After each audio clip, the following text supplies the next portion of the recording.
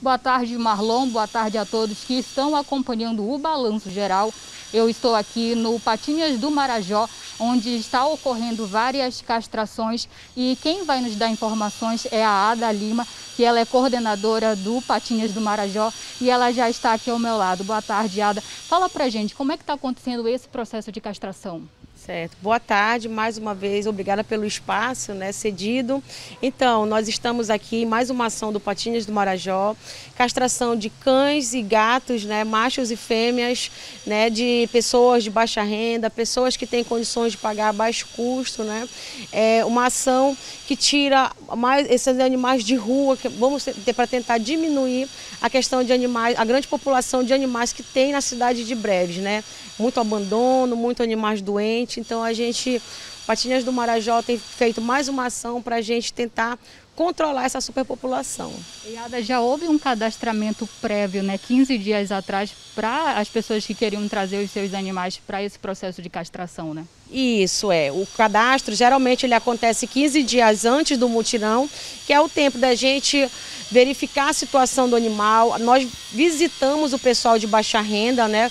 Nessa, nesse mutirão nós tivemos 40 vagas para baixa renda.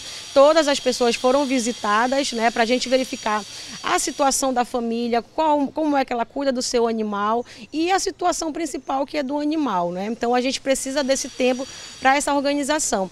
Além da compra de material, é o tempo também que o veterinário nosso não é daqui, ele já se programa um bom tempo antes para comprar passagem, para vir para cá, né? Porque ele já vem, ele vem de outro estado, né? E aí, então, a gente precisa desse, de, de, é, fazer esse cadastro com antecedência. Então, sempre é, acontece dessa forma. 15 dias antes, a gente anuncia nas redes sociais, TV, rádio, né? principalmente no nosso Instagram do Patinhas do Marajó, o cadastro. Quando a pessoa sai do cadastro, ela já sabe o dia e a hora da castração do animal no período do mutirão. Existe um valor que as pessoas devem pagar para esse processo de castração? Sim, a gente tem aberto essa questão da, da tarifa social, não é? Que é para pagamento do veterinário. Além de pagar o veterinário, você ajuda a pagar a castração de um animal de rua, né? Ou um animal de uma pessoa de baixa renda. Geralmente, nós para esses animais de rua, nós temos uma outra, uma outra, uma outra categoria que nós criamos. É, eles são apadrinhados. Então, a pessoa que tiver interesse nesse período, a gente divulga no Instagram, divulga nas redes sociais é, o apadrinhamento. Aí a pessoa escolhe aquele animal de, de, de rua que vai ser apadrinhado e ela paga o valor dessa castração. O valor, ele é um valor mesmo de 150 reais que a gente tem cobrado para a fêmea e 100 reais para o macho. Nós não temos abrigo, nós não temos condições de ter um abrigo em breves, né? O Patinhas do Marajó, nós, temos, nós somos todos voluntários, temos nossas famílias, temos o nosso trabalho, então é muito difícil a gente ter um abrigo dentro de breves, até porque teria que ter um veterinário que pudesse estar fazendo o atendimento, né? E um local muito bem estruturado. Então o Patinhas do Marajó, ele só faz essa situação, ele só organiza esse mutirão de castração. Tá? A gente não prega animais, mas todo dia a gente tem pessoas pedindo ajuda, é animal abandonado. Então eu queria até pedir para a população, não faça isso, não, não jogue o seu problema para os outros. Ninguém tem essa obrigação. Porque você, você pode, ah, o animal nasceu, os, os filhotes nasceram, tente doar, peça ajuda. A gente faz a divulgação, tanto a gente quanto o grupo do I Love Pet, que tem feito feirinhas né, de adoção na Praça do Operário. É muito melhor do que deixar uma caixa e os animais morrerem. Né? Eu não sei se isso não dói no coração de uma pessoa que faz uma, faz uma coisa dessa. Principalmente num período desse chuvoso. Né?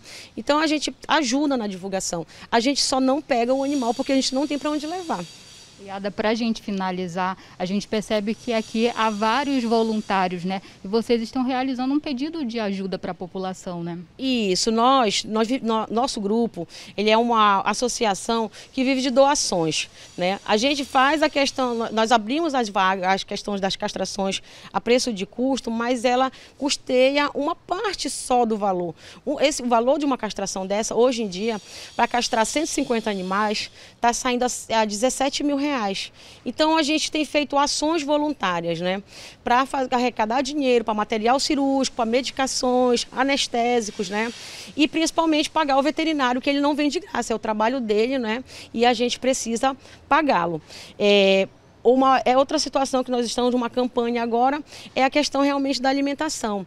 Nós somos é, 14 voluntários que estão aqui trabalhando e ficam do, de manhã, chegamos sete e meia aqui e saímos seis horas da tarde. Então, a gente precisa de alimentação.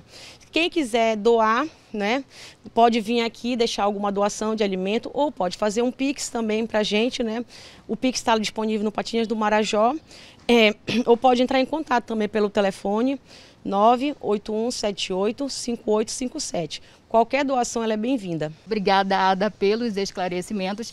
Então, para você que está acompanhando o Balanço Geral e quer fazer parte dessa ação solidária, você pode entrar em contato com o número que está aparecendo no rodapé do seu televisor. Marlon, eu volto com você no Balanço Geral.